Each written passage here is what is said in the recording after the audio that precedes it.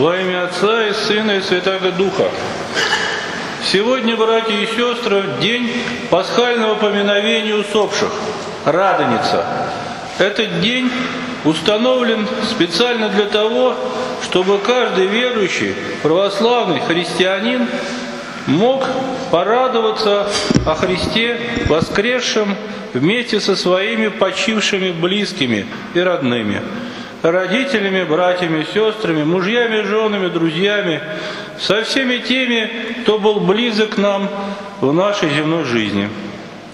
Эту радость о воскресшем Спасителе мы разделяем с умершими в полной уверенности, что души их живы.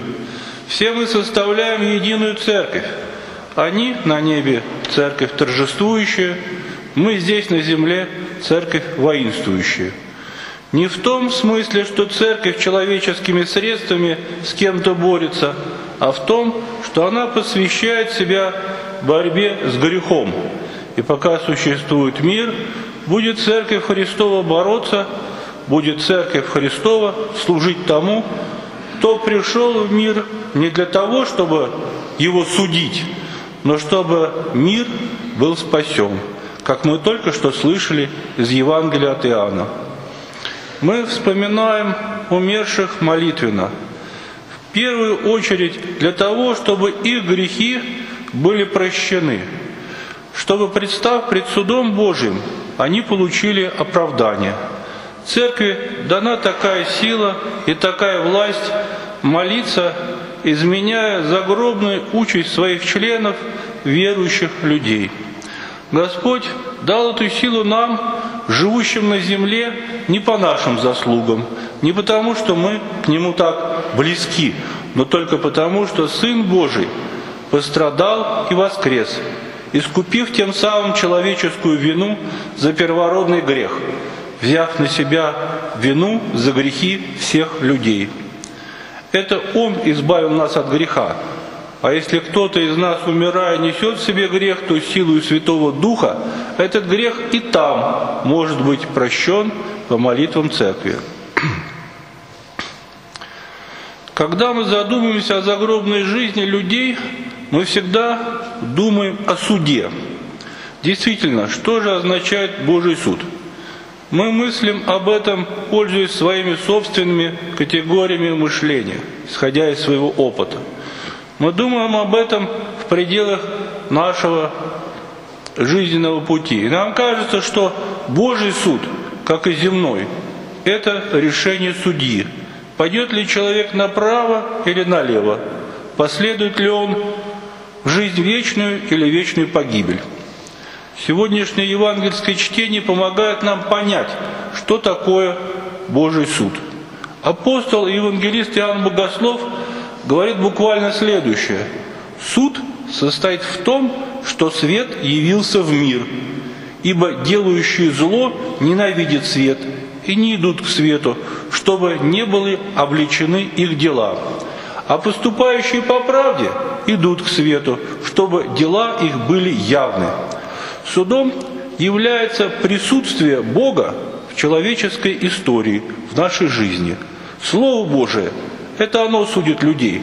В конце концов, каждому человеку бывает трудно понять, где правда, а где ложь. Каждый человек уязвим внешним влиянием на его оказываем.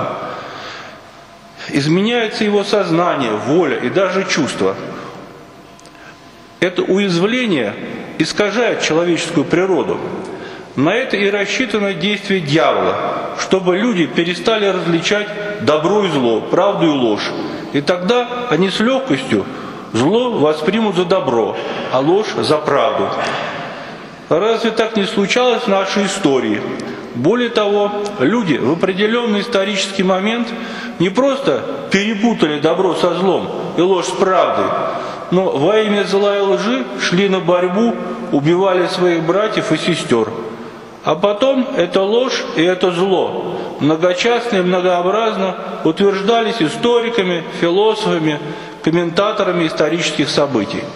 Где уж тут разобраться простому человеку, особенно если прошло много времени.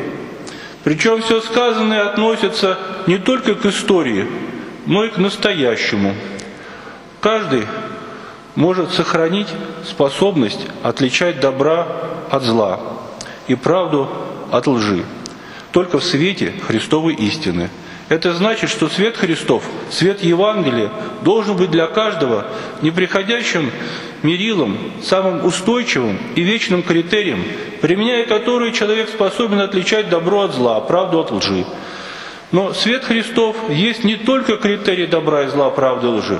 Он судит нас потому, что если человек живет не в соответствии с божественной истиной, дарованной во Христе Иисусе, если его душа принадлежит противоположному миру, то он ненавидит божественный свет и не идет к нему. Иногда люди спрашивают, почему же так трудно проповедовать Христа? Почему перед такими очевидными истинами, подкрепленными историческим опытом человечества, люди остаются бездушными, а иногда со злобой и негодованием воспринимают обращенное к ним слово? Да потому что они творят злое и не хотят идти к свету, чтобы свет не явил им их злые дела, не высветил человеческую злобу, потому что там, в потемках, легко скрываться. Более того, можно придумать слова и идеи, которые даже оправдывали бы человека, пребывающего в потемках.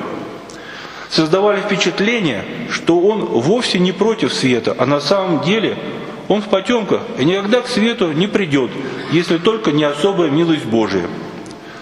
С другой стороны, человек, живущий по правде, идет к Богу, потому что это его мир. Ему не нужно скрываться в потемках. Он не боится увидеть в свете божественной истины свои собственные грехи, потому что ответом на это лицезрение раскрывается сила покаяния и молитвы. Проходя через покаяние и молитву, человек очищается в свете божественной правды. Суд Божий совершается и совершается не только в конце человеческой истории, он совершается в каждый момент времени, потому что суд состоит в том, что свет, что Христос явился в мир. Аминь.